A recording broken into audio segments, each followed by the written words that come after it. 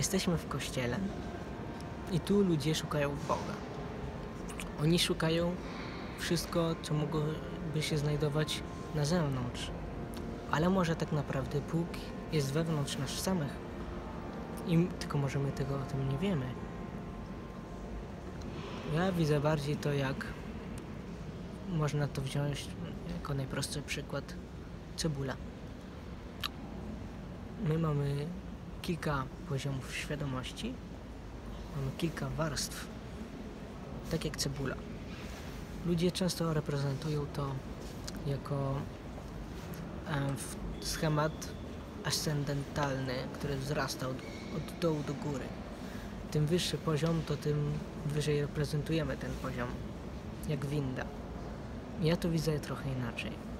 Ja myślę, że to trzeba zaprezentować w postaci kuli.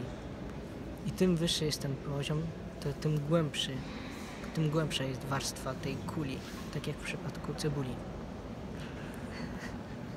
I na przykład my często korzystamy z niższych poziomów świadomości, te, które są najłatwiej, najłatwiejsze, naj, naj, najprostsze w dostępu.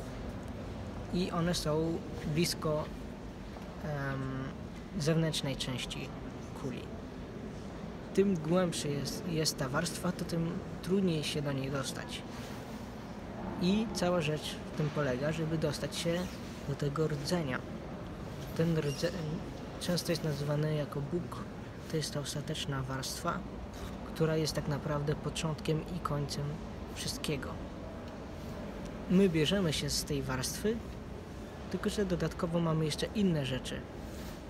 Mamy już od samego początku cechy boskie, ale dodatkowo jeszcze inne cechy. Ludzie często szukają się, e, szukają Boga i próbują zbliżyć się do Niego. Ale to trzeba zrozumieć, że już mamy te cechy, te właściwości. Tylko, że dodatkowo mamy też te, które nam nie odpowiadają. Jak na przykład złość, to, że jesteśmy cie- niecierpliwi albo pesymistyczni. My tak naprawdę już jesteśmy od samego początku dobrzy.